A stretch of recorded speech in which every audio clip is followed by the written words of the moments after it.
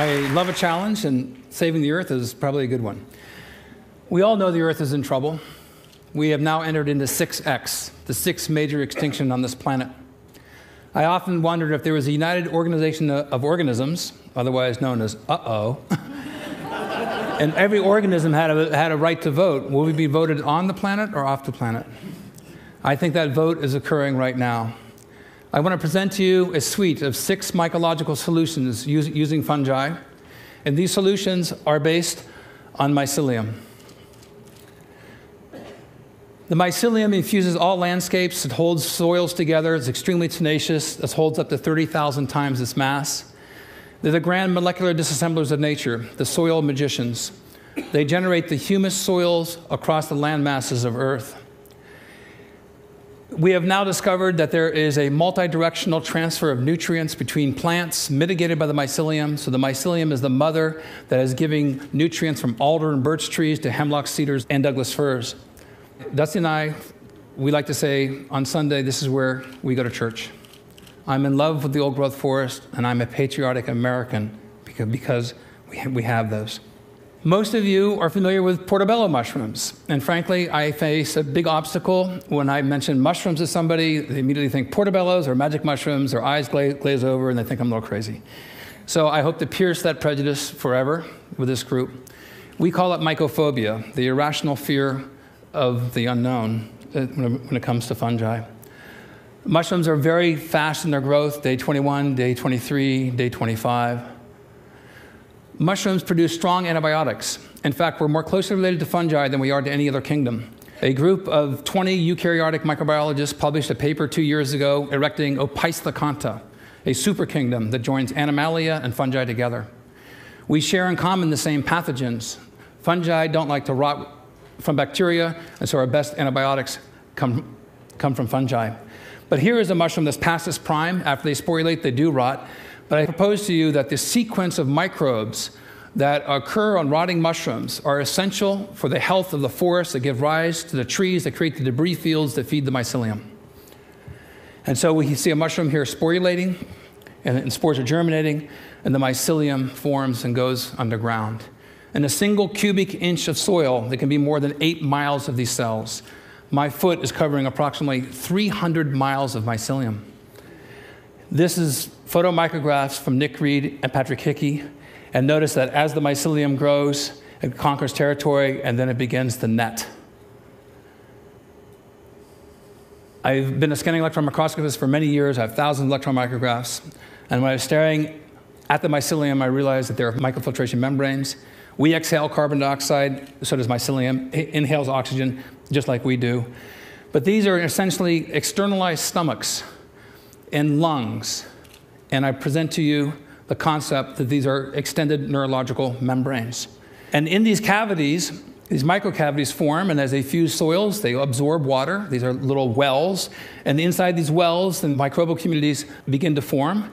And so the spongy soil not only resists erosion, but sets up a microbial universe that gives rise to, to a plurality of other organisms. I first proposed in the early 1990s that mycelium is Earth's natural internet. When you look at the mycelium, there are, they're highly branched. And if there's one branch that, that, that is broken, then very quickly, because of the nodes of crossing, internet engineers maybe call them hop points, there's alternative pathways for channeling nutrients and information. The mycelium is sentient, it knows that you are there. When you walk across landscapes, it leaps up in the aftermath of your footsteps trying to grab debris. So, I believe the invention of the computer internet is an inevitable consequence of a previously proven biologically successful model. The Earth invented the computer internet for its own benefit, and we now, being the top organism on this planet is trying to allocate resources in order to, to protect the biosphere. Going way out, dark matter conforms to the same mycelial archetype. I believe matter begets life. Life becomes single cells. Single cells become strings. Strings become chains. Chains network. And this is the paradigm that we see throughout the universe. Most of you may not know that fungi were the first organisms to come to land. They came to land 1.3 billion years ago, and plants followed several hundred million years later. How is that possible? It's possible because the mycelium produces oxalic acids and many other acids and enzymes, pockmarking rock and grabbing calcium and other minerals and forming calcium oxalates, makes the rocks crumble, and the first step in the generation of soil. Oxalic acid is two carbon dioxide molecules joined together. So fungi and mycelium sequester carbon dioxide in the form of calcium oxalates, and all sorts of other oxalates are also sequestering carbon dioxide through the minerals that are being formed and taken out of the rock matrix. This was first discovered in 1859. This is a photograph by Franz uh, Hueber. Uh, this photograph was taken in the 1950s from Saudi Arabia. 420 million years ago, this organism existed. It was called Prototaxites. Prototaxites, laying down, was about three feet tall. The tallest plants on Earth at that time were less than two feet. Dr. Boyce at the University of Chicago published an article in the Journal of Geology this past year determining that Prototaxites was a giant fungus, a giant mushroom. Across the landscapes of Earth were dotted these giant mushrooms all across most land masses, and these existed for tens of millions of years. Now, we've had several extinction events, and as we march forward 65 million years ago, most of you know about it, we had an asteroid impact. The Earth was struck by an asteroid, a huge amount of debris was jettisoned into the atmosphere, sunlight was cut off, and fungi inherited the Earth. Those organisms that paired with fungi were rewarded because fungi do not need light. More recently, at Einstein University, they just, just determined that fungi use radiation as a, food, as, a, as a source of energy, much like plants use light. So the prospect of fungi existing on other planets elsewhere, I think, is a foregone conclusion, at least in my own mind. The largest organism in the world is in eastern Oregon. I couldn't miss it. It was 2,200 acres in size. 2,200 acres in size, 2,000 years old. The largest organism on the planet is a mycelial mat, one cell wall thick. How is it that this organism can be so large and yet be one cell wall thick, whereas we have five or six skin layers that protect us. The mycelium, under the right conditions, produces a mushroom. It bursts through with such ferocity it can break asphalt. We were involved in several experiments. I'm going to show you six, if I can, solutions for helping to save the world. Battelle Laboratories and I joined up in Bellingham, Washington. There were four piles saturated with uh, diesel and other petroleum waste. One was a control pile. One, one, uh, one pile was treated with enzymes, one pile was treated with, uh, was treated with bacteria, and our pile we inoculated with mushroom mycelium. The mycelium absorbs the oil. The mycelium is producing enzymes, peroxidases, that break carbon hydrogen bonds. These are the same bonds that hold hydrocarbons together. So the mycelium becomes saturated with the oil, and then when we return six weeks later, all the tarps were removed, all the other piles were dead, dark, and stinky. We came back to our pile, it was covered with hundreds of pounds of oyster mushrooms, and the color changed to a light form. The enzymes remanufactured the hydrocarbons into carbohydrates, fungal sugars. Some of these mushrooms are very happy mushrooms, they're very large. They're showing how much nutrition that they could have obtained. But something else happened, which was an epiphany in, in my life. They sporulated, the spores attract insects, insects laid eggs, eggs became larvae, birds then came bringing in seeds, and our pile became an oasis of life. Whereas the other three piles were dead, dark, and stinky, and the PAHs, the aromatic hydrocarbons, went from 10,000 parts per million to less than 200 in eight weeks. The last image the, we don't have, the entire pile was a green berm of life. These are gateway species, vanguard species that open the door for, biological, uh, for other biological communities. So I invented burlap sacks, bunker spawn, and putting the mycelium using storm blown debris. You can take these burlap sacks and put them downstream from a farm that's producing E. coli or other waste, or a factory with chemical toxins, and it leads to habitat restoration. So we set up a site in Mason County, Washington, and we've seen a dramatic decrease in the amount of coliforms. And I'll show you a graph here. This is a logarithmic scale, 10 to the eighth power. is more than 100 million colonies per gram. and 10 to the third power is around 1,000. In 48 hours to 72 hours, three, these, three, these three mushroom species reduce the amount of coliform bacteria 10,000 times. Think of the implications. This is a space conservative method that uses storm debris, and we can be guaranteed that we'll have storms every year. So, this one mushroom in particular, Drew has drawn our interest over time. This is my wife, Dusty, with a mushroom called Fomitopsis officinalis, agarikon is the mushroom exclusive to the old growth forest The Dioscorides first described in 65 AD as a treatment against consumption. This mushroom grows in Washington State, Oregon, Northern California, British Columbia, now thought to be extinct in Europe. May not seem that large. Let's get closer. This is an extremely rare fungus.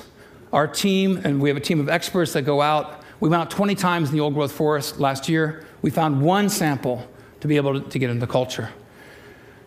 Preserving the genome of these fungi in the old growth forest, I think, is absolutely critical for human health. I've been involved with the U.S. Defense Department BioShield program. We submitted over 300 samples of mushrooms that we boiled in hot water in mycelium, harvesting these extracellular metabolites. And a few years ago, we received these results. We have three different strains of agarikon mushrooms that were highly active against pox viruses. Dr. Earl Kern, who's a smallpox expert of the U.S. Defense Department, states that any compounds that have a selectivity index of two or more are active, 10 or greater are considered to be very active. Our mushroom strains were in the highly active range. There's a vetted press release that you can read that's vetted by DOD if you uh, Google uh, Stamets and smallpox, or you can go to npr.org and listen to a live interview. So, encouraged by this, naturally we went to flu viruses. And so, for the first time, I'm showing this. We have three different strains of agarikon mushrooms, highly active against flu viruses. Here's the selectivity index numbers. Against pox, you saw 10s and 20s. Now, against flu viruses, compared to the ribavirin controls, we are having extraordinarily high activity. And we're using a natural extract within the same dosage window as a pure pharmaceutical. We tried against flu A viruses, H1N1, H3N2, as well as flu B viruses. So then we tried uh, a blend, and then a blend combination, we tried it against H5N1, and we got greater than 1,000 selectivity index. I then, I then think that we can make the argument that we should save the old growth forest as a matter of national defense. Yes.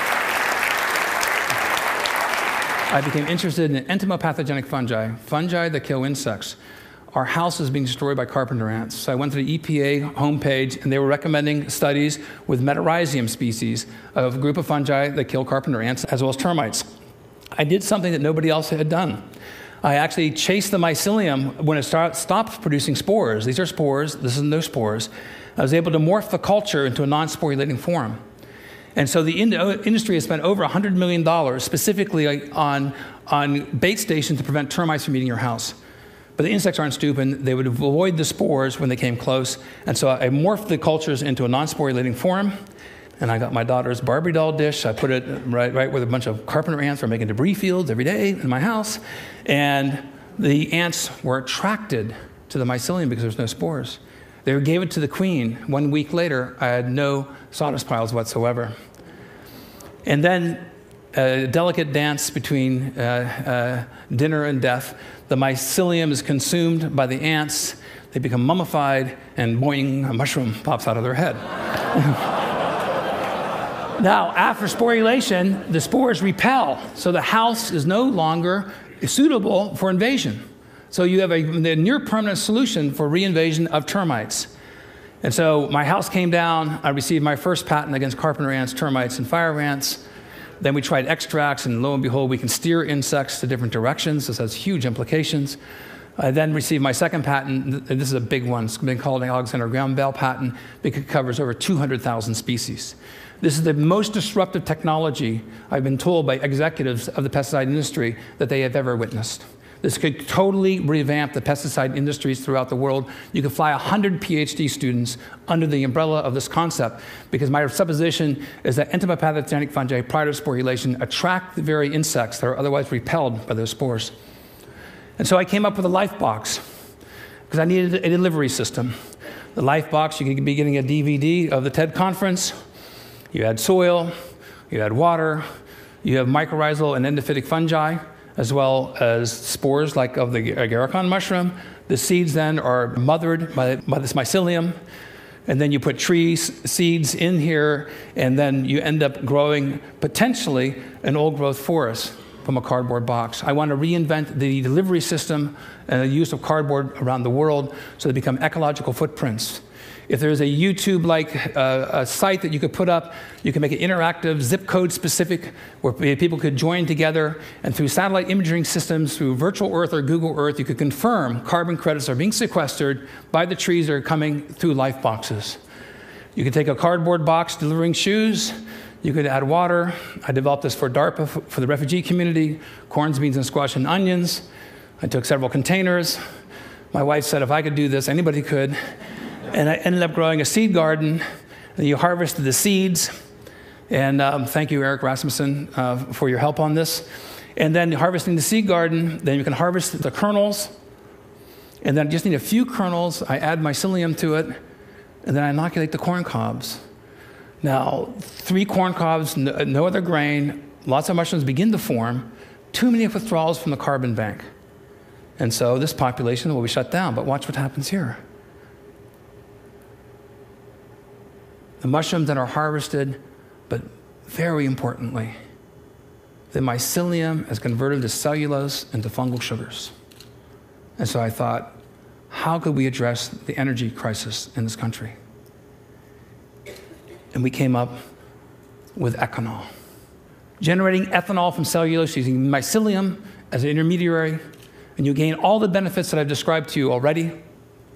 But to go from cellulose to ethanol is ecologically unintelligent, and I think that we need, need to be ecologically intelligent about the generation of fuels so we build the carbon banks on the planet, renew, renew the soils.